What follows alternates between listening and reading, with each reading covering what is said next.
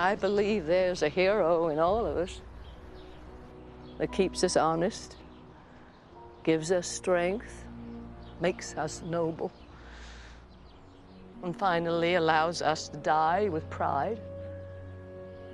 Even though sometimes we have to be steady and, and give up the thing we want the most,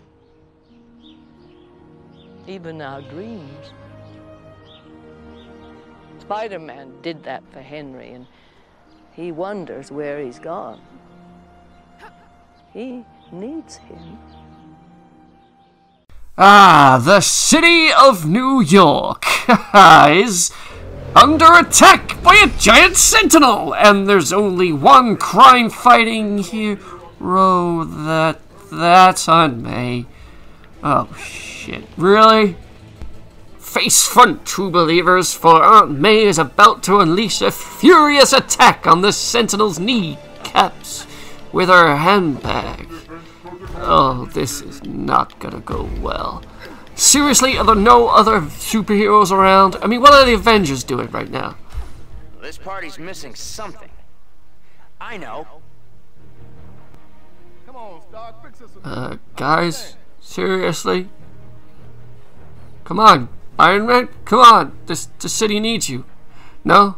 Too too busy dancing. Okay. Meanwhile, the grudge match to end all grudge matches continues with Aunt May versus the Giant Sentinel.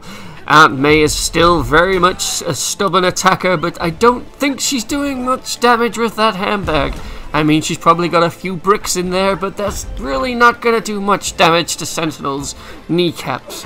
Uh, we really need to find another superhero. That's it, May. Just run away. Spider-Man, where are you? Hey, Spidey, your aunt's in trouble, Spidey. No? No? Okay, well, what about the X-Men? They live in New York. Maybe Wolverine can step up and help kill the Sentinel. After all, it's an X-Men villain. No? No? Okay.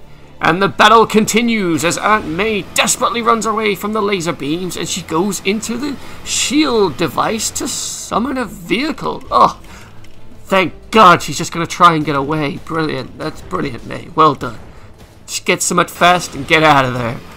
It's your only hope. I just hope that Sentinel doesn't destroy too much of the city. What? What? What? Oh my God. Oh my God, everybody. She did it. She actually did it. The car spawned in and killed the Sentinel. Holy shit, I don't have to go to Wakanda after all. oh, you go, May. And so, once again, the day is saved thanks to Aunt May.